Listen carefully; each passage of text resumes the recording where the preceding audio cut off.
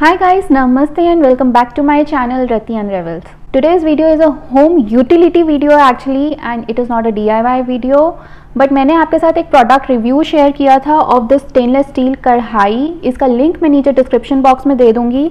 This is a stainless steel triple ply stainless steel kadhai and इसका induction bottom है dish washer safe है।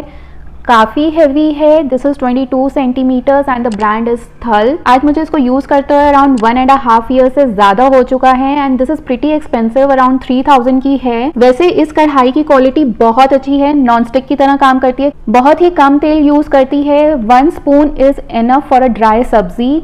इसकी maintenance के लिए आपको इसमें स्टील स्क्रबर यूज़ नहीं करना है। आप इसको नॉर्मल ग्रीन स्कॉच ब्राइट से ही क्लीन कर सकते हैं। आपकी जब कुकिंग फिनिश हो जाती है आपको इमीडिएटली इस, इसमें पानी फिल नहीं करना है। Let the kadhai cool down for some time and जब वो हो जाए तभी आप इसमें पानी भर के रखिए। जब आप इसमें पानी भर के रख देंगे उसके बाद आपको इसको स्टील स्क्रबर या, या कुछ भी ऐसा एब्रेसिव यूज़ करने की ज़रूरत नहीं पड़ेगी। ये normal Scotch Brite even sponge से भी क्लीन हो जाएगी बहुत ईजिली इसमें जो एक इशू आता है जो कि हर स्टेनलेस स्टील बर्तन में आता है are the blue rainbow marks आप यहाँ पे अभी देख सकते हो इसमें ब्लू रेनबो मार्क्स हैं।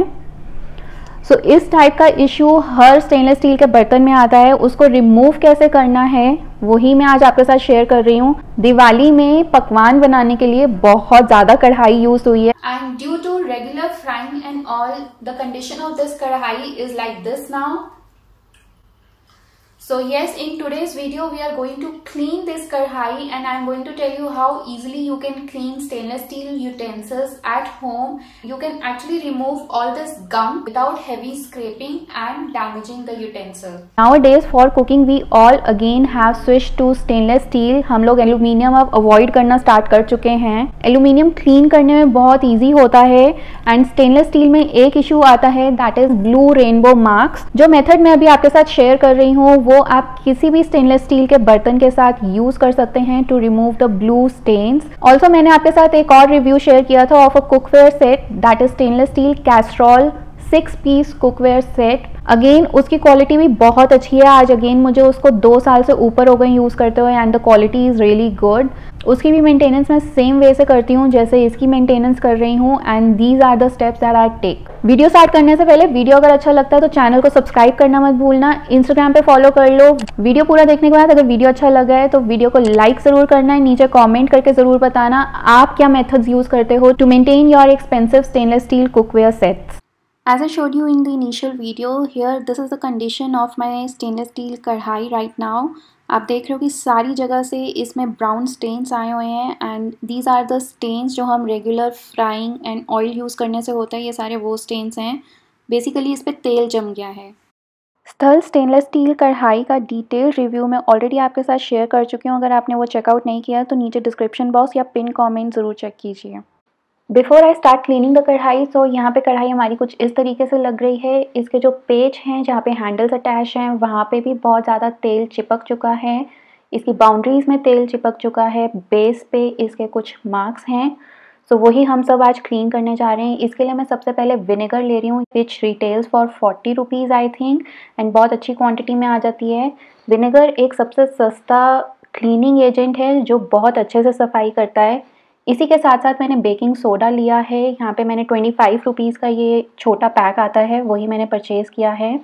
यहाँ पे घर में मेरे पास कुछ बेकिंग सोडा था सो पहले मैं पुराने वाला यूज़ करने वाली हूँ and then I am going to open the new pack now कढ़ाई को क्लीन करने के लिए हम सबसे पहले कढ़ाई को फुल फ्लेम पे रखने वाले हैं एंड उसके बाद हम इसमें विनेगर पोर करने वाले हैं।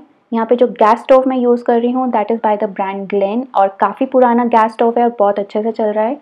यहाँ पे मेरे पास एक ये पोनी भी है जिस पे ऑयल के मार्क्स हैं सो वो भी हम क्लीन करने वाले हैं। Again it is a stainless steel one अब मैं कढ़ाई में हाफ़ बॉटल विनेगर डाल रही हूँ। मैं फुल बॉटल नहीं डाल रही हूँ। फ़र्स्ट ऑफ़ ऑल मैं हाफ़ बॉटल विनेगर डाल रही हूँ।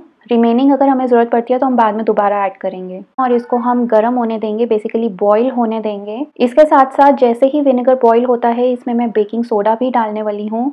इसमें मैंने कोई क्वांटिटी मेजर करके नहीं डाली है। मैं slowly slowly baking soda add कर रही हूँ। ये आप देख रहे हैं बेकिंग सोडा ऐड करते ही इसमें कितने सारे बबल्स आ रहे हैं। विनेगर और बेकिंग सोडा के बबल से ये जो टफ स्टेन्स हैं, हमारे लूजन अप हो जाएँगे और हमें ज़्यादा इसमें स्क्रबिंग नहीं करनी पड़ेगी। यहाँ पे मेरी गैस फ्लेम जो है, अभी भी हाई हीट पे है। इसके साथ जो मेरे को ये पोनी क्लीन करनी है स्टेनलेस स्टील वाली, उसी को मैं बेकिंग सोडा और विनेगर मिक्स करने के लिए यूज़ कर रही हूँ सो दैट वो भी ईजिली जल्दी क्लीन हो जाए। ना, अब जो हमने क्वांटिटी विनेगर की डाली थी, वो फुल कढ़ाई को कवर नहीं कर रही थी सो जो रिमेनिंग क्वांटिटी थी, वो भी मैंने इसमें डाल दी है। अब आप देख रहे हैं कि इसके जो साइड के दो स्क्रूज हैं हैंडल के, वो भी विनेगर में डिप हो चुके हैं प्रॉपरली और जो टफ स्टेन्स हैं, वो भी विनेगर में अंदर सबमर्ज हो चुके हैं। सो so, इससे हमारे जो स्टेन्स हैं, बहुत जल्दी लूजन अप होंगे। एक्चुअली जल्दी लूजन अप नहीं होंगे बट हाँ आप आगे प्रोसेस देखिए। और साथ ही साथ आप यहाँ पे देख रहे हैं कि स्टेन्स ऑलरेडी छूटना शुरू हो गए हैं। ये जो ऑयल जमा हुआ है, ये आप ऑयल के फ्लेक्स देख रहे हो, कितने ईजिली निकल रहे हैं।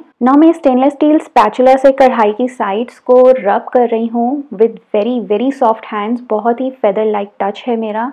एंड आप देख रहे हो कि ये स्पैचुला भी बहुत ईजिली क्लीन हो चुका है। इसको जस्ट एक हल्की सी स्क्रबिंग की ज़रूरत है। इसके बाद हमने इसको ओवरनाइट रख दिया है। Do watch the video till the end for some useful tips मैंने कढ़ाई को विनेगर एंड बेकिंग सोडा के सॉल्यूशन में ही रात भर रहने दिया है। ना उसकी वजह से आप ऑलरेडी देख रहे हो यहाँ पे स्टेन्स कितने ज़्यादा कम हो चुके हैं। अब आगे का प्रोसेस फॉलो करते हैं। नेक्स्ट मॉर्निंग हमने इसको दोबारा बॉईल किया है।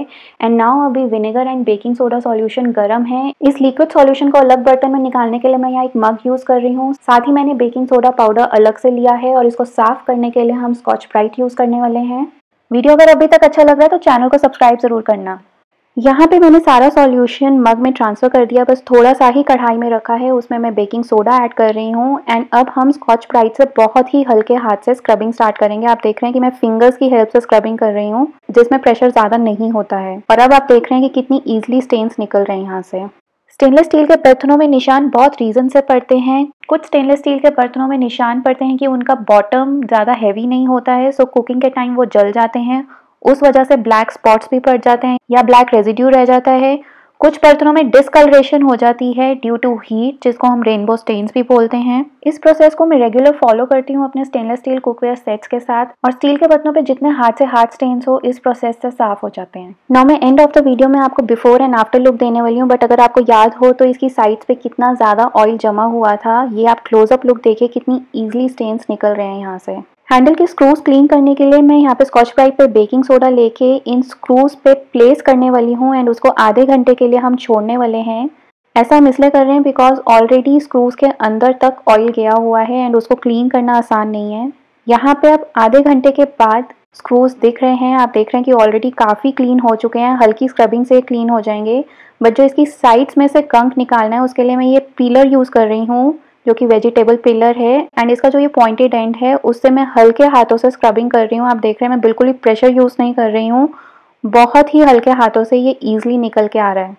This process is really useful to clean your stainless steel utensils without scratching you can use this process to clean your stainless steel pots stainless steel sink stainless steel grill stainless steel appliances with baking soda and even if you have any stainless steel utensils with rust then also you can apply this method on them. This process is pocket friendly.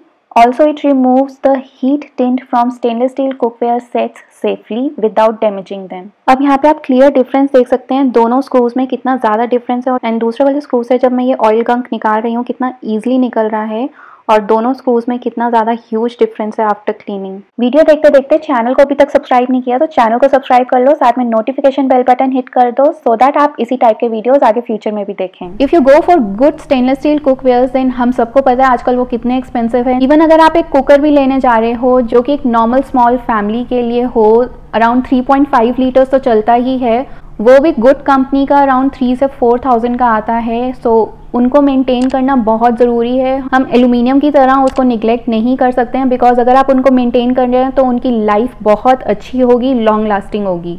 ना हमारी स्थल stainless steel कढ़ाई अंदर से बहुत अच्छे से चमक चुकी है, बहुत अच्छी साफ़ हो चुकी है। अब इसकी बैक साइड की बारी आती है। बैक साइड पे भी ऑयल मार्क्स हैं सो इसको मैं सबसे पहले स्कॉच ब्राइट से क्लीन कर रही हूँ।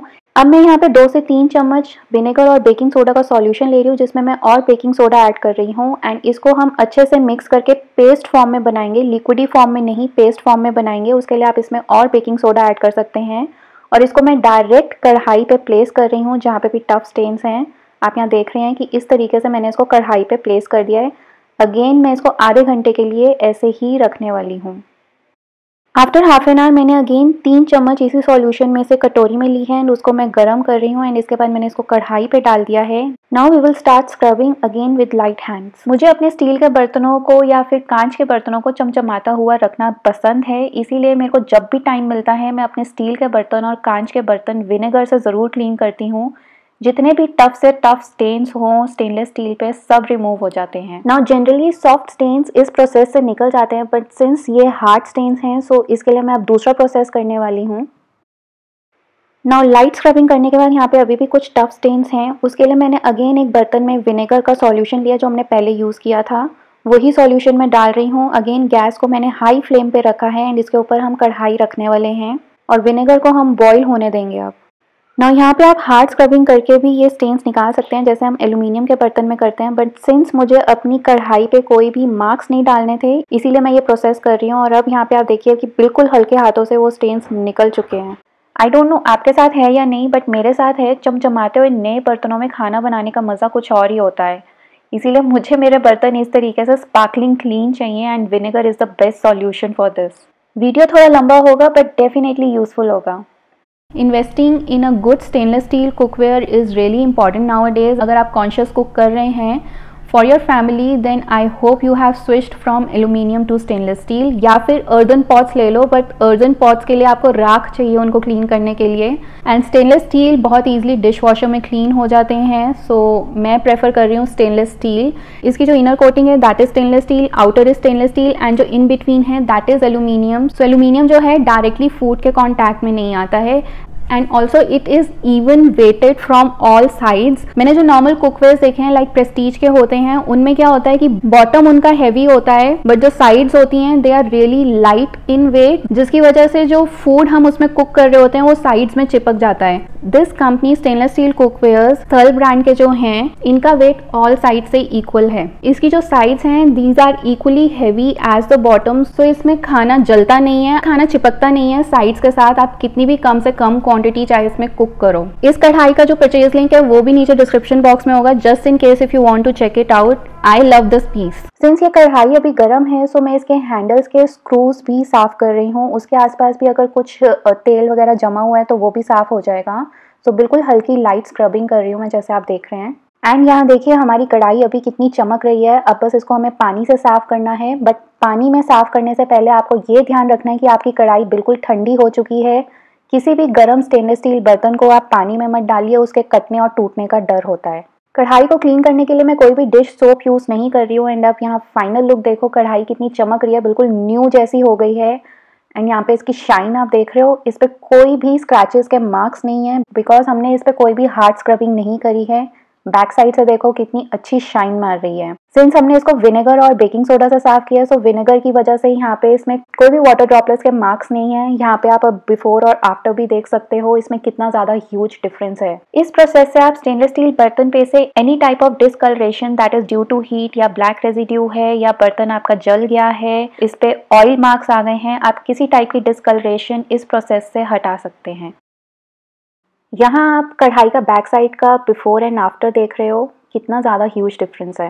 कढ़ाई देखो ज़रा, कितनी शाइन मार रही है, इसमें आपको मेरी और किचन दोनों की क्लियर रिफ्लेक्शन दिख रही है। अब मैं आपको कढ़ाई सब जगह से दिखा देती हूँ, इसमें कहीं पे भी कोई भी तरीके के मार्क्स नहीं है। एंड कढ़ाई में मेरे फिंगरप्रिंट्स आ गए हैं बिकॉज़ ये इतनी ज़्यादा साफ़ हुई हुई है। जो आपके पास विनेगर और बेकिंग सोडा का सॉल्यूशन पड़ा है, उसको आपको डिस्कार्ड नहीं करना है, फेंकना नहीं है, उसको आप दोबारा क्लीनिंग पर्पज के लिए रीयूज कर सकते हैं। Like fridge cleaning hard water stains removal vinegar बहुत ज़्यादा यूज़ होता है होम क्लीनिंग में। येस गाइज़ ये थी मेरी आज की वीडियो अगर वीडियो अच्छी लगी है तो चैनल को सब्सक्राइब कर दो वीडियो को लाइक कर दो, नीचे कॉमेंट करके ज़रूर बताना आप क्या मेथड्स अपनाते अपने स्टेनलेस स्टील कुकवेयर को क्लीन रखने के लिए। I will catch you with a new video also Instagram पे ज़रूर फॉलो कर दो। बाय